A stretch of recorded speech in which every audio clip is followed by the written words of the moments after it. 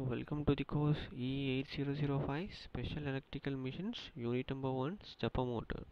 Single Stack Variable Reluctance Stepper Motor. So here we, we are going to see the uh, operation of the uh, single reluctance variable uh, stepper motor its construction part.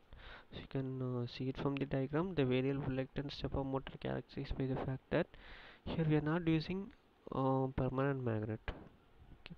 so here it is made up of uh, this construction is three phase VR stepper motor with six uh, stator poles and four rotor poles. The stator is made up of uh, silicon steel stampings with inward projected uh, even or odd numbers of poles or teeth.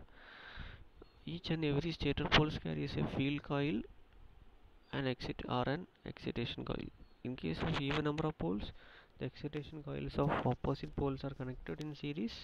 The two coils are connected such that their mmf gets added. The combi combination of the two coils is known as we call it as phase winding. Okay. When it comes to the uh, electrical connection of the VR stepper motor here the coil A and A dash are connected in series to form a phase winding. This phase winding is connected to a uh, DC source commonly so this uh, is connected to the DC source through a switch called S1 similarly B and B dash and C and C dash are connected in the same manner using the switches S2 and S3 respectively. So totally the motor has three phases A, B and C.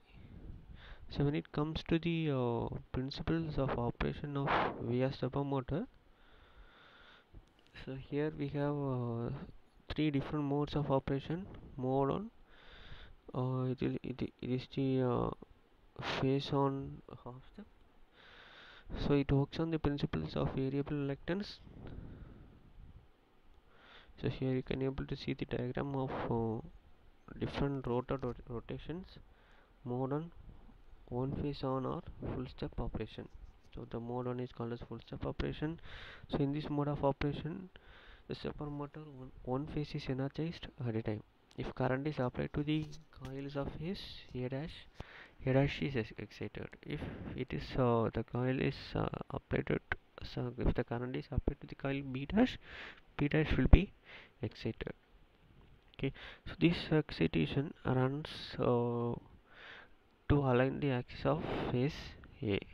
Okay so magnetic reluctance is minimized and state provides a rest or equilibrium position. To the rotor and the rotor cannot move until phase a is energized. Next phase b is energized by turning on the semiconductor switch s2 and phase a dash is de-energized by turning off the s1 switch.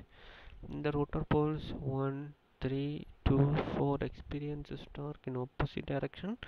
When the rotor and stator teeth are out of alignment in the excited phase of the magnetic reluctance is large. The torque experienced by 1 and 3 are in clockwise direction and that of 2 and 4 are in the counterclockwise direction. The latter is more than the former. So when it comes to the mode 2 that is two phase on mode. So in this uh, mode two stator phases are excited simultaneously when phases A and B are energized together rotor experiences torque from both phases and comes to rest in the point midway between the two adjacent full step position.